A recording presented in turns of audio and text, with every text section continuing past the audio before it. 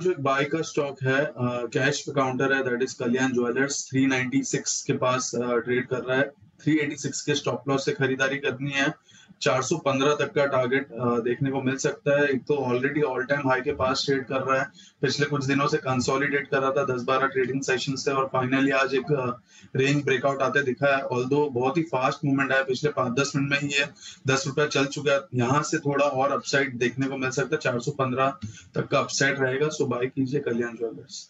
बिल्कुल cash stocks में भी रखिए नज़र। मिड कैप स्मॉल कैप में थोड़ी रिकवरी के आसार अभी दिखे थे। थोड़ी और रिकवरी अभी आपके लिए प्ले आउट होती हुई दिख रही है।